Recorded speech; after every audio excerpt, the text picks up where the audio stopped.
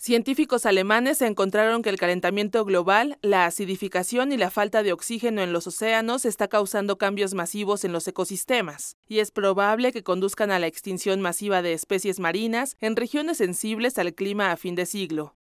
Los investigadores de la Universidad de Erlangen-Nuremberg y del Instituto Alfred Wegener encontraron que el cambio climático está ejerciendo una presión creciente sobre muchos organismos marinos, según el estudio publicado en la revista Nature Climate Change, los expertos recopilaron datos publicados previamente sobre experimentos en los que los animales marinos estuvieron expuestos al calentamiento, la falta de oxígeno, la acidificación o una combinación de estos factores.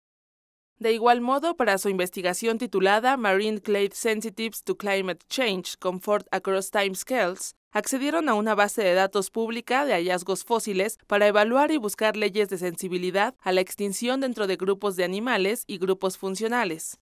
Al agrupar a los animales en distintas categorías, los científicos cuantificaron cuál de estos grupos será más vulnerable o resistente a los diferentes factores estresantes relacionados con el clima en los experimentos y qué grupo tenía más probabilidades de extinguirse durante los antiguos eventos de calentamiento global.